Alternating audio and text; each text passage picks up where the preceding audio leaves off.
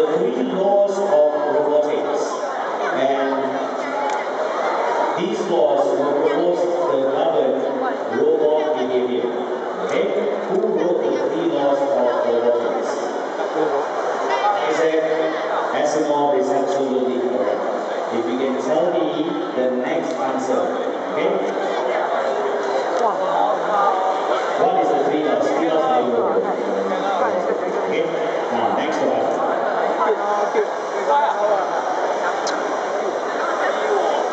Next question.